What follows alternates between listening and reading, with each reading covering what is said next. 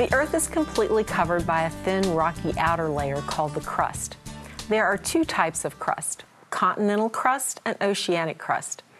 Continental crust is the part of the Earth's crust that contains the continents. Oceanic crust is the part of the Earth's crust that is beneath the ocean.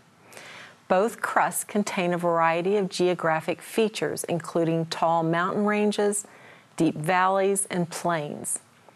Mid ocean ridges are mountain ranges on the ocean floor. Trenches are deep ocean valleys that typically form where oceanic crust meets the continental crust. Both ridges and trenches are the sites of volcanic, volcanic and earthquake activity. In fact, many islands, including the Hawaiian Islands, are really volcanoes that have risen above the surface of the ocean. In Activity 2, students explore the structure and composition of the Earth's crust in particular, the geographic features of the ocean floor.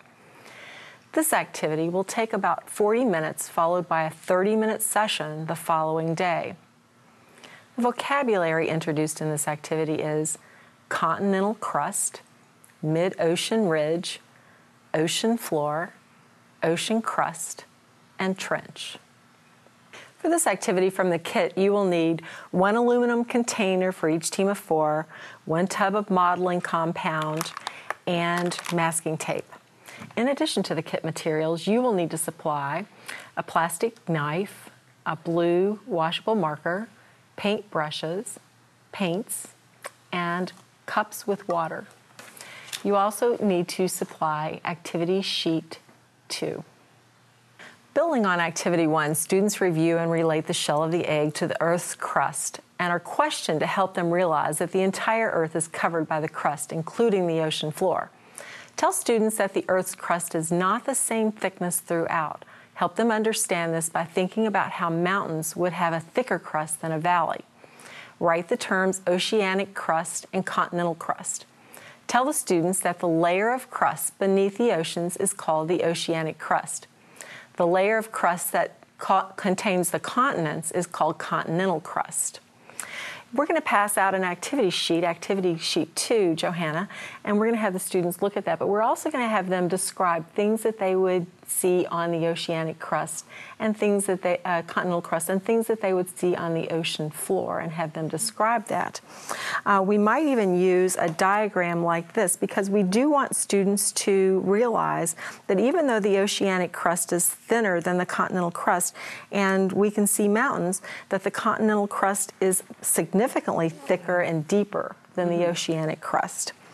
So let's take a look and what are some terms that we're going to be looking at to label on our worksheet? Well, I see continent and ocean floor, mid-ocean ridge, trench, and island. Okay, so there's some terms on there that they're not familiar with, such as mid-ocean ridge. Mm-hmm. And so we want to explain to the students, um, they might have heard the term ridge before with a popular potato chip that mm-hmm. has a ridge. Mm-hmm. There's some mountains that, like the Blue Ridge Mountains. Exactly. And so that we've got um, mid ocean ridges are like smaller mountains that run, that are in, in the ocean. And some information that we can give the students too is that actually one of the longest ridges is the um, Mid Atlantic Ridge that runs all the way from the Arctic to the Antarctic. Wow. Uh, that is 31,000 miles long.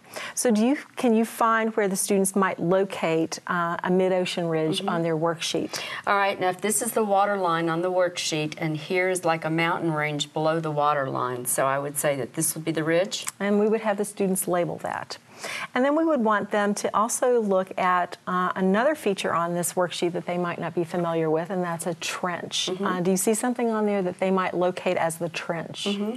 I think this right here represents like a, a ditch, which would be a a smaller trench, perhaps, or vice and, versa. And tell the students that a trench is like a valley in the ocean. Mm-hmm. And so we would have them label that. Now that we've finished uh, looking at the features of the ocean floor, we want the students to be able to label the ocean floor. And we also want them then to look at the features above the water level, a continent, an island, and label those on our worksheet. We want to turn this one dimensional illustration then into a model okay. and what it might look like as a three dimensional figure. Before we begin building our model, mm-hmm. Johanna, we want the kids to be thinking about what features they want to include in their model. So we might want to list these on the board. So what are some features after we look at our worksheets that we want to make sure are included in our model? Okay, from this illustration we see that they have labeled continent, ocean floor, mid-ocean ridge, trench, and island. So maybe all of these features should be part of the model. Okay, so after we've discussed those, we want those in our model. We're going to hand them out and tell them that they're going to get uh, something called uh, Model Magic that's a self hardening clay. And it comes in a package like this. And when you take it out. The students are going to, each team of four are going to get about half of it. So you're just going to pull it apart like that. And it's, it's really easy to mold. So I'm going to give that to you in just a second. And then you also want them to have a, a blue washable marker and a, a plastic knife and foil tin to be able to build their model in. Okay. Okay. Um, and also a piece of masking tape so that they can mark each group name on the so side of the, so that they'll know who. Right here. Right. So they know who it belongs to. So I'm going to give this to you and let you start building the model and. And as the students are doing this, they see that it's very pliable and um, you want to walk around and just kind of talk to them about some of the features and what those features might look like and how they might get that. Uh, you want to um, into their model.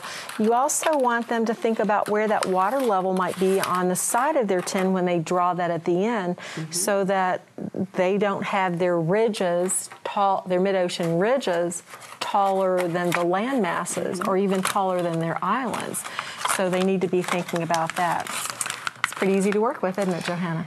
Yeah, it, it really is. It's pretty pliable. Uh, you know, they can stretch it uh, both ways to kind of fill it in, but if they keep kind of keep in mind that maybe they want this end to be uh, the the continental cr- uh, crust, uh, or actually the, uh, that would be like the um, the land. The land, the land mass. Okay, mm-hmm. so it, what they might end up with maybe something that looks like this. Mm-hmm. Where they have the landmass, they have an island, and they have mid ocean ridges, mm-hmm. and they have a trench. Mm-hmm. Okay? All right, so you, let's you did a pretty good job in a short amount of time there. And you also want to work with your students so that everybody gets a chance to do this, mm-hmm. so that one student isn't doing all, having all the fun. This is a good model. So w- where would we draw the water line for this then? If we okay, want... we want the land uh, mass, a con- uh, continent, to be above the water line. So what I think we'll do is just maybe make their water line here. Uh, we have to keep in mind that uh, the uh, island should be above the water level too. Okay, but the continental crust, uh, the um, and the trench and the uh, ridges should be below the water line. Good, thank you. Do you think this is a good model? Mm, I think that's the volcano or the island, and I see a ridge here, and this must be the trench right there. How did we, do we use the knife to make the trench?